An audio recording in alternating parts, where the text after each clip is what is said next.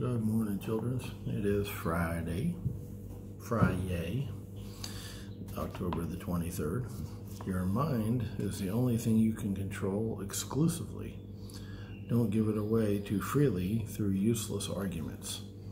You may spend your time and your energy, both physical and mental, in pursuits that yield the greatest return on your investment, or you may fritter it away on activities that will never bear fruit.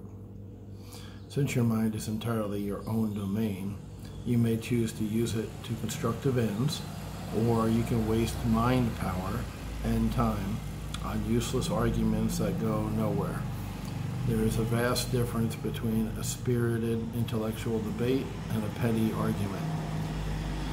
When you discuss concepts, your own knowledge is expanded through interaction with another thinking person. Uh, when you allow yourself to be dragged into arguments about insignificant things, the result will be a dulling of both the mind and the spirit. Wow.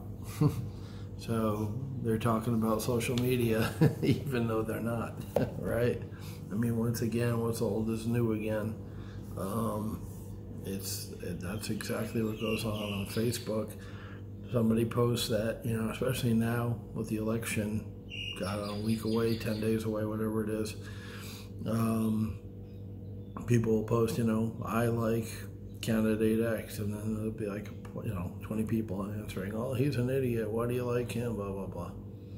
That's not constructive thinking. That's not.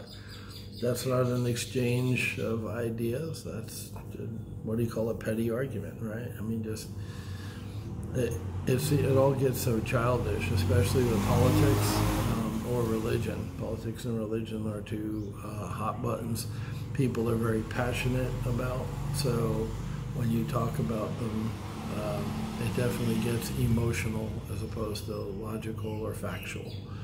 So um, communication is key when you're in, in relationships, business and personal.